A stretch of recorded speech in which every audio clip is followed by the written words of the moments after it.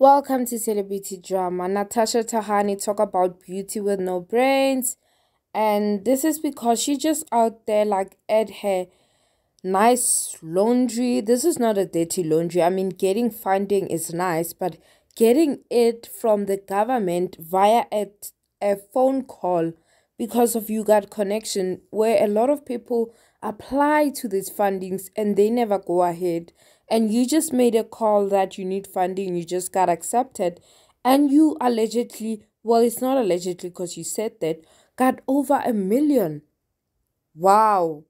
Of course if i was in the shoes i was also gonna use my connections to study further but I was gonna keep my mouth shut. That's why I'm saying Natasha Thahane beauty without brains because she clearly meant to inspire people with this story. Cringe worthy. Subscribe and tell me what you think about Natasha Thahane's exposure.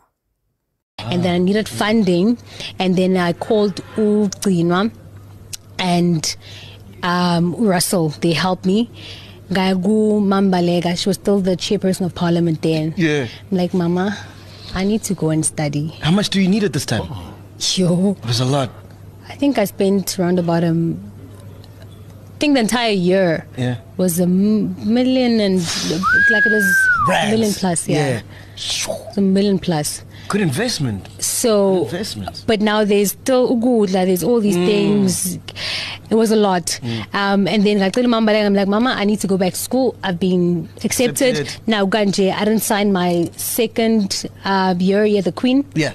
So ngizenzani. Mm. This was so ngicela ukuthi mm. something. Yeah. And then she managed to speak to e, arts and culture and then they gave me funding but I only asked for the first semester because I was scared ukuthi bengacela yonke imini yes, yeah.